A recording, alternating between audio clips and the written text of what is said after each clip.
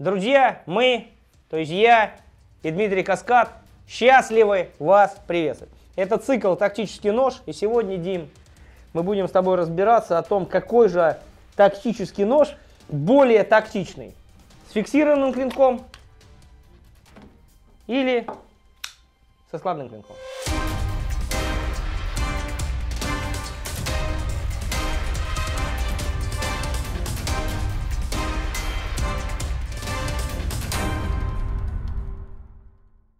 Какой тактический нож надо предпочесть? Какой тактический нож надо предпочесть?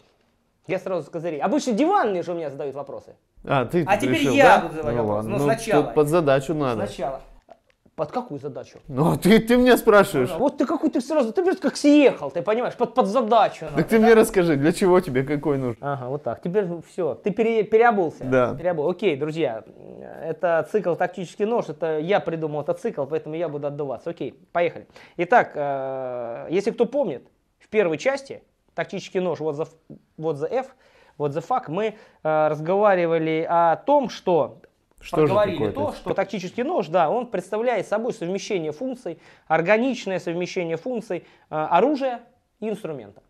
То есть любой тактический нож может выступать быть как оружием, так и инструментом. Но, как бы он хорошо их в себе не совмещал, в любом случае, скорее всего, какие-то функции в нем будут превалировать над другими. Скорее всего. То есть он будет более инструмент. Да? Ну вот возьмем, например, аштишку.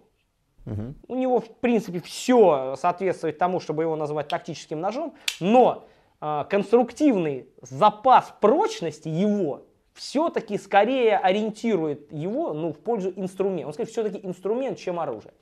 Вот. А если мы возьмем, например, тот же спектр, он скорее все-таки оружие, чем инструмент. Да? Или, или, или э, мы возьмем вендетту, да? или мы возьмем торн, то это тоже все-таки скорее оружие, чем инструмент. Это раз. Но это первый момент. Второй момент в том, что ты, я, наши уважаемые зрители, они то же самое. Скорее им нужно или оружие, или инструмент. Ну, то есть, грубо говоря, если мы берем военнослужащий, и он, э, или сотрудник, он расценивает, он берет вот или грейф, или спектр, на каждый день буквально носить, как э, что-то отрезать, подрезать, но все-таки как оружие последнего шанса. И он нож конкретно, тактический нож, рассматривает как оружие. В таком случае я бы рекомендовал фиксированный клинок. Я сейчас объясню почему. А если мы все-таки мирные люди, абсолютно мирные люди, но EDC формат, EDC, совсем EDC формат, нам кажется, ну, не очень. И мы хотим что-то вот, ну, черное, сфиксированное, ш- чтобы клинок фиксировался в открытом состоянии, чтобы он быстро от- открывался, чтобы у него был, чтобы он не просто быстро открывался, чтобы у него там был плавник, на который надавил, он быстро, прошу прощения, не каждый раз получается, и он быстро открылся вот таким вот образом, красивым, понимаешь, и зафиксировался, и можно и было им и рубить, и резать, и колоть, если что, да? Но все-таки функция инструмента порезать, отрезать, заточить карандаш нам превалирует перед функциями оружия. В таком случае, скорее всего, этому человеку нужен складной нож, и я бы рекомендовал бы ему, конечно, бы складной нож в таком случае. То есть, хотим тактический нож с ярко выраженными функциями оружия, берем фиксированный клинок. Хотим тактический нож с- со скорее выраженными функциями инструмента, берем складной нож. Здесь сейчас в рамках данного э, вопроса надо обязательно разобрать, в чем же, чем же э, фиксированный клинок в плане оружия выигрывает у складного ножа. Надо пояснить этот момент. Дело в том, друзья, я сейчас объясню, а потом ты задашь вопросы. Я, э, дело в том, друзья, что э, есть, э, когда мы говорим об оружии любом, это мы можем говорить о тактическом ноже, тактическом автомате, тактическом пистолете на предохранителе. Надо тебе меньше употреблять слово тактически. На тактич- о, тактич- о чем угодно. Мы обязательно должны рассматривать такой вопрос, как оперативность применения. Оружие, оно нужно, когда ну, уже пушистый зверь близок, правильно? Просто так же не нужно оружие. Да не, ну можно в тир поехать пострелять, но оружие как оружие против э, людей или человека, который имеет всякие плохие намерения, нам нужно будет, ну, применять, скорее всего, оперативно. Будет какая-то внезапность, ситуация оперативная. И поэтому оперативность применения играет не просто большое значение, а, возможно, решающее значение. И, соответственно, представим, что мы носим нож в максимально удобном, максимально эргономичном месте. Он прекрасно у нас взаимодействует с экипировкой снаряжения. Для того, чтобы нам привести в боевое положение нож с фиксированным клинком, надо его просто вытащить. Ну, как револьвер, начать стрелять. Он готов. Если мы говорим про складной нож, то то, что мы его вытащили, еще ни, ни о чем не говорит. Зарядить надо. Его надо еще, да, дослать патрон в патроне Да. надо, да, понимаешь? Вот, а здесь, а тут, грубо говоря, не надо этого делать. И еще один немаловажный момент. Смотрите внимательно. Если мы находимся в ситуации, когда уже последний шанс рукопашного по- поединка, клинч, обграниченное пространство, замкнутое пространство, противник сверху нас наносит удары, ну какой-то вот такой вот кипиш, да, то любой складной нож, ему нужен определенный радиус для того, чтобы, ну то есть, грубо говоря, мы его даже можем вытащить, но не открыть. То есть мы можем в настолько стесненных быть условиях, что клинок не внутри вот этого радиуса, он не придет в боевую готовность. В то время как нож с фиксированным клинком, мы его вытащили, и он уже готов. Не просто он, а он внутри вот этого круга, в котором мы находимся с противником, он уже максимально готов к применению. Это относится, в принципе, к ножу, э, к любому ножу с э, фиксированным клинком, соответственно. Он, мы его извлекли, и сразу он готов. При этом э, огромное количество людей, я знаю, отдает э, преимущество в выборе э, в пользу ножа с фиксированным клинком ввиду его надежности по сравнению. То есть в любом случае любой замок, любой механизм, любой э, вот этот элемент конструктивный, это узкое все равно звено в конструкции ножа. И в любом случае, если механизм есть, значит механизм может Ну, технически сложная конструкция. да, все. Косяк быть может. Я на самом деле, если честно, э, знаком уже, уже ну, с не- с небольшим, но довольно-таки большим